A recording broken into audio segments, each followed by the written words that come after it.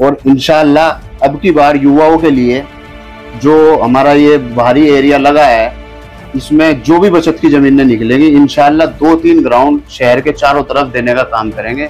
मेरे वालिद साहब का व्यवहार, एक आम आदमी, गरीब आदमी, कोई रेड है, ठेली वाला हो, वो डायरेक्ट हमारे घर पे आकर, आके चेयरमैन साहब की बराबर में बैठेगा।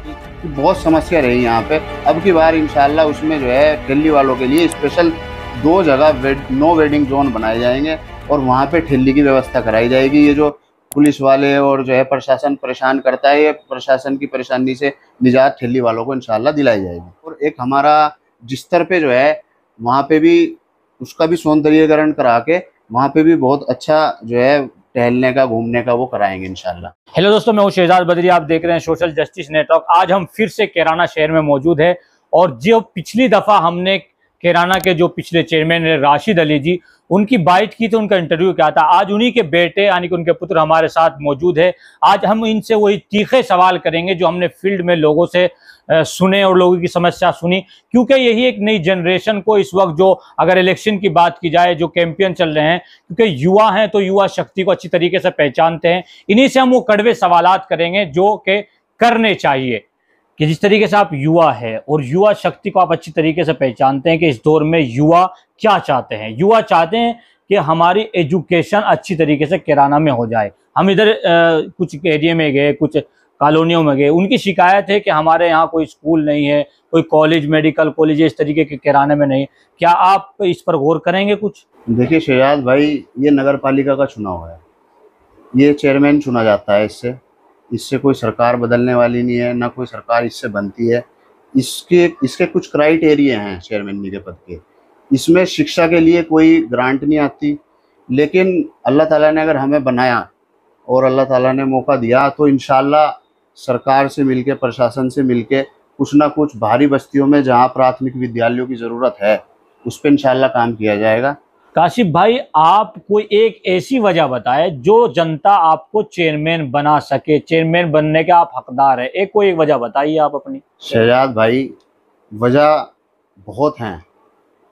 मैं वजह क्या गिनवाऊँ आप लोगों में घूम रहे हैं, आप समस्या जो है लोगों से सुन भी रहे हैं। वो किस वजह से हमारी साथ जुड़ रहे हैं, वो सब आपको पता है क्योंकि आप फ़ील्ड में हैं। इतना विकास कार्य मेरे वालिद साहब ने कराया है। 2012 से 17 तक वो चेयरमैन रहे। उससे पहले क्या हालत थी शहर की? और उन पाँच सालों में कितना बदलाव हुआ है? जो लोग बाहर गए हुए थे, जो पाँच साल बाद आके लौटे शहर में, उनको एहसास हुआ कि कितना किराना बदल गया? इतना कार्य कराया है। आप रोड से ही अगर किराना में एंट्री करते हैं तो वहीं से बदलाव नज़र आता है। और उससे अलग सबसे बड़ी वजह, मेरे वालिद साहब का व्यवहार। एक आम आदमी, गरीब आदमी, कोई रेड ठेली वाला हो, वो डायरेक्ट हमारे घर पे आकर आके चेयरमैन साहब की बराबर में बैठेगा। कोई भी कार्य हो, निसंकोच कह सकता है। और जो चेयरमैन रहे, जो पिछले पाँच साल रहे, लोग हमारे पास साइन कराने के लिए आते थे कि जी, वो चेयरमैन साहब के वहाँ गए थे, वो तो मिले नहीं जी, वो तो बाहर गए हुए हैं। हम हम उनको बोलते थे, भाई, हमारा राइट नहीं है, हमारी मोहर नहीं चलेगी, हमारे सिग्नेचर नहीं चलेंगे। तो वहाँ पे एक साइन के लिए इतना लोगों को घूमना पड़ता था, कई कई बार चक्कर लगाने पड़ते थे।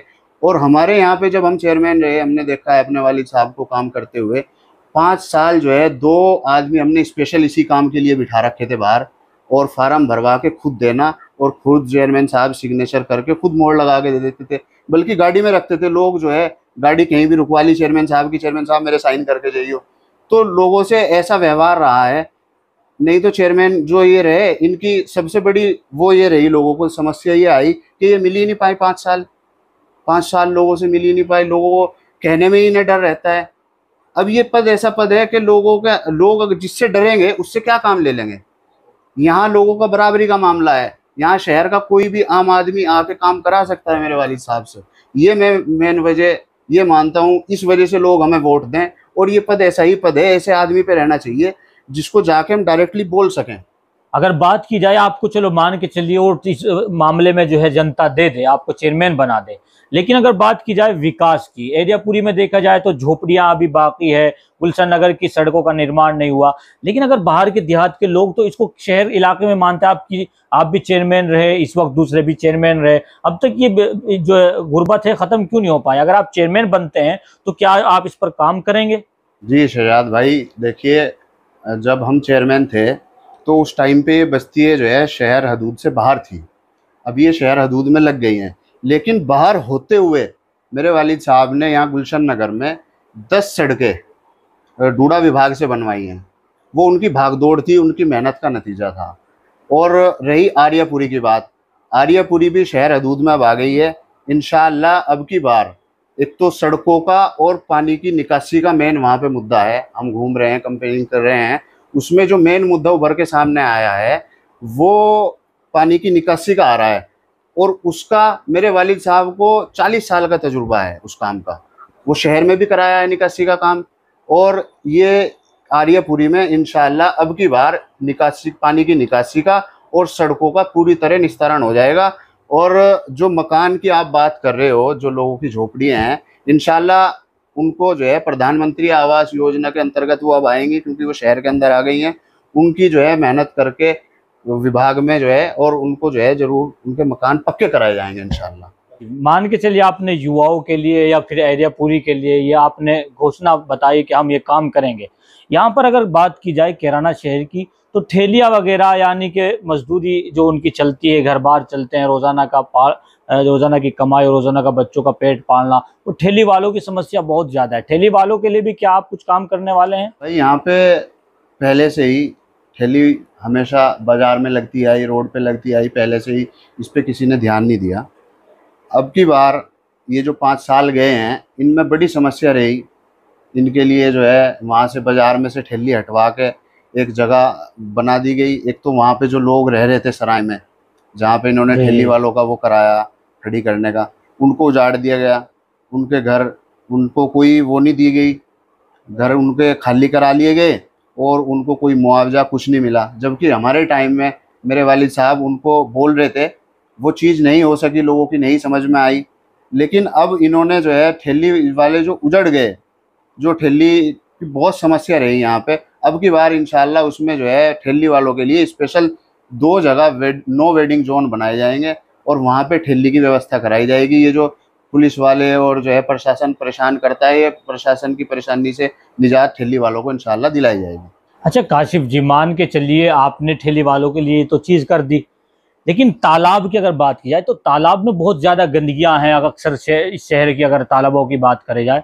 और फिर इसी में अगर एक बात की जाए, ग्राउंड वगैरह की युवाओं के लिए अगर यहाँ ग्राउंड वगैरह नहीं है, इतने कोई अच्छे खासे तो युवाओं के लिए भी आप कुछ करने जा रहे हैं?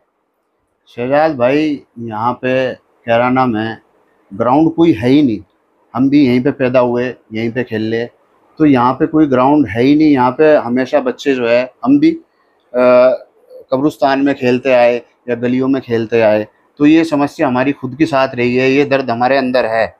और इन अब की बार युवाओं के लिए जो हमारा ये बाहरी एरिया लगा है इसमें जो भी बचत की ज़मीनें निकलेंगी इन दो तीन ग्राउंड शहर के चारों तरफ़ देने का काम करेंगे।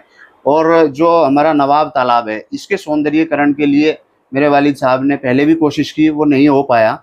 लेकिन अब की बार इन पक्का उस पर जो है सौंदर्यकरण करा के वहाँ घूमने का और पार्क का इंतज़ाम कराया जाएगा। और एक हमारा जिस्तर पे जो है, वहाँ पे भी उसका भी सौंदर्यकरण करा के वहाँ पे भी बहुत अच्छा जो है टहलने का घूमने का वो कराएँगे इनशाला अच्छा आपने वक्त दिया बहुत बहुत शुक्रिया काशिफ जी।